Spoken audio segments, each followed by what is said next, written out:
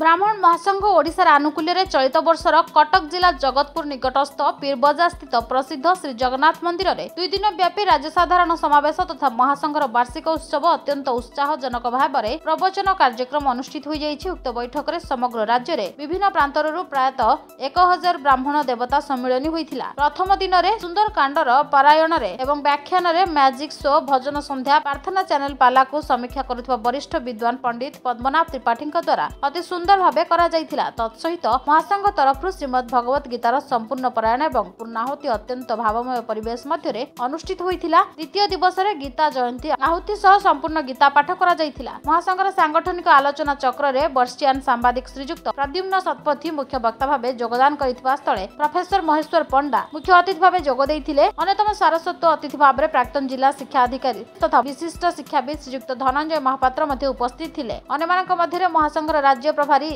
Engineer Srinivas Das ମହାସଂଘର ସଭାପତି ଶ୍ରୀଯୁକ୍ତ ଚିତ୍ତରଞ୍ଜନ ମିଶ୍ରଙ୍କ ସହ ସମ୍ପାଦକ ଇଞ୍ଜିନିୟର ଜିତେଶ ଦାସ ରାଜ୍ୟ କାର୍ଯ୍ୟକାରିଣୀ ସଭାପତି ଶ୍ରୀ ପ୍ରସନ୍ନ ଦାସ ଓ ଅନେକ ମାନ୍ୟଗଣ୍ୟ ବ୍ୟକ୍ତିମାନେ ଉପସ୍ଥିତ ଥିଲେ। ଏଥିରେ ସମଗ୍ର ରାଜ୍ୟ ସ୍ତରରୁ ବରିଷ୍ଠ ବିଦ୍ୱାନ ତଥା ଅଭିଜ୍ଞ ପଣ୍ଡିତ ପାଞ୍ଚ ଜଣଙ୍କୁ ମହାସଂଘ ତରଫରୁ ଔପଡକନ ସହିତ ମାନପତ୍ର ପ୍ରଦାନ କରାଯାଇଥିଲା। ଉକ୍ତ କାର୍ଯ୍ୟକ୍ରମକୁ ମହାସଂଘ ସାଧାରଣ ସମ୍ପାଦକ ଡକ୍ଟର ସୌମ୍ୟରଞ୍ଜନ ମହାପାତ୍ର ଏକ ବିଶେଷ କାମରେ ରାଜ୍ୟ ବାହାରେ ଥାଇ ସୁଦ୍ଧା ଆଭାସୀ ମାଧ୍ୟମରେ ତଦାରଖ କରୁଥିଲେ। ଏହି ପରିପ୍ରେକ୍ଷୀରେ ମହାସଂଘ ତରଫରୁ ଚଳିତ ବର୍ଷର ତ୍ରୈଲୋକ୍ୟ ମୋହିନୀ ପତ୍ରିକାର ଉନ୍ମୋଚନ ଯୋଗଦାନ କରିଥିବା ବିଶିଷ୍ଟ ଅତିଥିମାନଙ୍କ ଦ୍ୱାରା କରାଯାଇଥିଲା। ଆଜି ସମୟର ଆବଶ୍ୟକତାକୁ ଆଧାର କରି ଉପଜୀବ୍ୟ କରି ଯେଉଁ କେତେଜଣ ସଂସ୍କୃତି ପ୍ରାଣ ମାଟି ମନସ୍କ ଜାତି ପ୍ରାଣ ସେମାନେ ଆଜି ଏକ ମହନୀୟ କାର୍ଯ୍ୟ କରି ଓଡ଼ିଶାର ବ୍ରାହ୍ମଣ ସମାଜମାନଙ୍କର ଭୂମିକା ଏବଂ ସେମାନଙ୍କ କର୍ତ୍ତବ୍ୟ ସେମାନଙ୍କ ଏକତା ଏହାକୁ ଆଧାର କରି ଯେଉଁ ମହାସଂଗଠନ କରିଛନ୍ତି ଏବଂ ତାର ଆଲୋଚନା କରିଛନ୍ତି ବିଶେଷ କରି ଆଜିର ପ୍ରେକ୍ଷାପଟରେ ତାହା ଅତ୍ୟନ୍ତ ଗୁରୁତ୍ୱପୂର୍ଣ୍ଣ ଏକ ସାମାଜିକ ସୁବାର୍ତ୍ତା ବହନ କରେ। କାରଣ ବ୍ରାହ୍ମଣ କୌଣସି ସମୟରେ ସ୍ୱାର୍ଥପର ନୁହେଁ ସମଗ୍ର ଜଗତର କେବଳ ମାନବ ଜଗତ ନୁହେଁ ଜଡ଼ ଜଗତର ମଙ୍ଗଳ କଲ୍ୟାଣ କାମନା କରୁଥିବା ବ୍ରାହ୍ମଣମାନଙ୍କର ନିଷ୍ଠା ଏବଂ ସେମାନଙ୍କର ତ୍ୟାଗ ଏବଂ ତପସ୍ୟା ସେମାନଙ୍କ କର୍ତ୍ତବ୍ୟ ପରାୟଣତା ଯାହା ଅତ୍ୟନ୍ତ ଆବଶ୍ୟକ ରାଷ୍ଟ୍ର ଗଠନରେ ତାହା ଯେତେବେଳେ ସୁଦୂର ପରାହତ ତାହା ଯେତେବେଳେ ଅବକ୍ଷେଇ ତାକୁ ପୁନର୍ଜାଗରଣ କରିବା ପାଇଁ ଏ ଯେଉଁ ଅଭିଯାନ ଏ ଅଭିଯାନ ନିଶ୍ଚିତ ଭାବରେ ସଫଳ ହେବ। ବ୍ରାହ୍ମଣ ମହାସଂଘ ଓଡ଼ିଶାର ଆଜି ହେଉଛି ଦ୍ୱିତୀୟ ବାର୍ଷିକ ଉତ୍ସବ ମହାସମାଗମ। ଏଥିରେ ଓଡ଼ିଶାର ବିଭିନ୍ନ ପ୍ରାନ୍ତରୁ ବ୍ରାହ୍ମଣ ଦେବମାନେ ଆସିକି ଉପସ୍ଥିତ ଅଛନ୍ତି। ଏବଂ ଆମମାନଙ୍କର ଯାହା ବ୍ରାହ୍ମଣମାନଙ୍କର ଯେଉଁ ନିଷ୍ଠା ଯେ ବ୍ରାହ୍ମଣମାନେ ସତ୍ୟ କହିବେ ଏବଂ ବ୍ରାହ୍ମଣମାନେ ନିଜ ଚେଷ୍ଟାରେ ଆମର ମୁଖ୍ୟତଃ ସମାଜର ନିମ୍ନ ସ୍ତରରେ ଥିବା ବ୍ରାହ୍ମଣମାନଙ୍କୁ ସେମାନଙ୍କ ଉତ୍ଥାନ କରିବେ ଏବଂ ତାଙ୍କୁ ସମାଜର ମୁଖ୍ୟ ସ୍ରୋତରେ ସାମିଲ କରିବେ।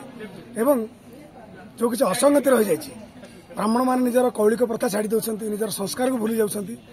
ତାପରେ ଗୋଟେ ସ୍ୱତନ୍ତ୍ର ଭାବରେ ଆୱାରନେସ୍ ଦିଆଗଲା ଏବଂ ସେମାନଙ୍କର କୌଳିକ ପ୍ରଥାର ବିକାଶ ଏବଂ କିପରି ହେଇପାରିବ ସେଥିପାଇଁ ଆମେ ଗୋଟେ ଆଲୋଚନା ଚକ୍ର କଲୁ ଏବଂ କ'ଣ କଲେ କୌଳିକ ପ୍ରଥା ଆଗକୁ ବଢ଼ିବ ଏବଂ ଏଥିପାଇଁ କିପରି ଭାବରେ ବୈଦିକ ବିଦ୍ୟାଳୟର ଆବଶ୍ୟକତା ରହିଛି ଏବଂ ସାମାଜିକ ସ୍ତରରେ ଏବଂ ଆର୍ଥିକ ସ୍ତରରେ ସେମାନଙ୍କୁ କିପରି ଭାବରେ ପ୍ରୋତ୍ସାହନ ଦେବା ଦରକାର ଏବଂ ଯଦ୍ୱାରା କି ସେମାନେ ସାମାଜିକ ସ୍ତରରେ ଏବଂ ଅର୍ଥନୈତିକ ସ୍ତରରେ ଉନ୍ନତ ହେବେ ଏବଂ ସମାଜର ମୁଖ୍ୟ ସ୍ତରରେ ସାମିଲ ହେବେ।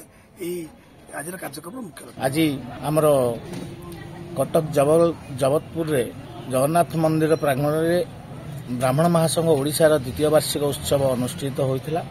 ଏହାର ଏଠି ବିଭିନ୍ନ ଆମେ ଓଡ଼ିଶାରେ ଏଇଟା ଓଡ଼ିଶା ଯାକର ସମସ୍ତ ବ୍ରାହ୍ମଣକୁ ନେଇକି ଆମେ ଏଇ ବ୍ରାହ୍ମଣ ସମାଜ କରିଛୁ। ଯେହେତୁ ଆମେ ପ୍ରତିବର୍ଷ ଗୋଟିଏ ଗୋଟିଏ ଜିଲ୍ଲାରେ ଆମର ବାର୍ଷିକ ଉତ୍ସବ କରୁଛୁ କରିବାର କାରଣ ହେଉଛି ପ୍ରତ୍ୟେକ ବ୍ରାହ୍ମଣ ପ୍ରତ୍ୟେକ ପରିବାର ଆମ ବ୍ରାହ୍ମଣ ମହାସଂଘରେ ମିଶି ଏକାଠି ଗୋଟିଏ ପରିବାର ହୋଇ ରୁହନ୍ତୁ ଏବଂ ସମସ୍ତେ ଗୋଟିଏ ପରିବାର ରହିଲେ ଏବଂ ସମସ୍ତଙ୍କର ଅସୁବିଧା ଭଲ ମନ୍ଦ ସବୁଥିରେ ଭାଗି ହେଲେ ଆମେ ସମସ୍ତେ ଗୋଟିଏ ପରିବାର ହେଇ ଆମେ ଆମର କେମିତି ଆମର ବ୍ରାହ୍ମଣ ସମାଜର ଉନ୍ନତି ହେବ ତା ଉପରେ ଆମେ ଚିନ୍ତା କରିବୁ। ଆମେ ବର୍ତ୍ତମାନ ଗୋଟିଏ ଲକ୍ଷ୍ୟ ରଖିଛୁ ଓଡ଼ିଶା ପ୍ରଦେଶରୁ ପ୍ରତି ଅଣୁ କୋଣ ଅଣୁ କୋଣରୁ ସମସ୍ତେ ଗୋଟିଏ ପରିବାର ହୋଇ ଆମ ବ୍ରାହ୍ମଣ ମହାସଂଘ ଓଡ଼ିଶାରେ ରହିବେ। ଡକ୍ଟର ପଞ୍ଚାନ ସୁନ୍ଦର ପାଣି ବ୍ରାହ୍ମଣ ମହାସଂଘ ଓଡ଼ିଶାର କାର୍ଯ୍ୟକାରୀ ସମ୍ପାଦକ।